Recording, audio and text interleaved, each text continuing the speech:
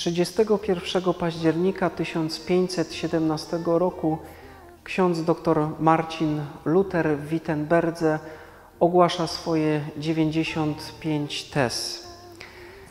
Tezy te stają się początkiem czy przyczynkiem do procesu, który nazwany został szumnie procesem reformacji, a więc odnowy Kościoła. Co głosiły tezy? Tezy przede wszystkim skupiały się na tym, by pokazać Chrystusa w centrum i wskazywały, że podstawą wiary człowieka jest Słowo Boże. Moi drodzy, od tego czasu minęło 500 lat. Mamy rok prawie 2017 i rozpoczynamy wielkie świętowanie, wielkie jubileuszowe świętowanie roku 2017.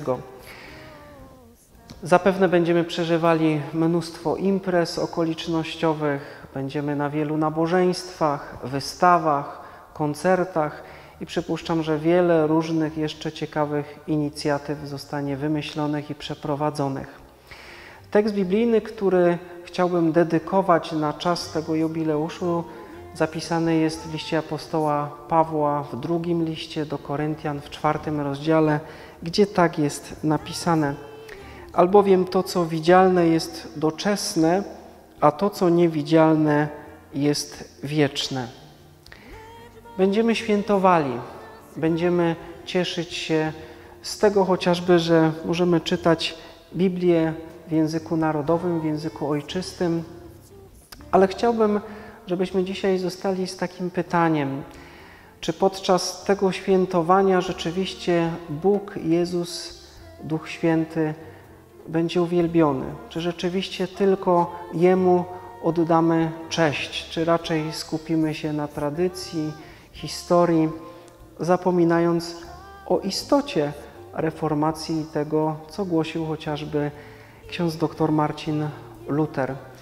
Życząc, moi drodzy, wszystkiego dobrego, bo przecież czas świąteczny to czas radości. Chciałbym zachęcić do radosnego świętowania i wykorzystywania okazji, żeby ogłosić światu właśnie tę prawdę, że to, co widzialne, jest doczesne, a to, co niewidzialne, trwa wiecznie.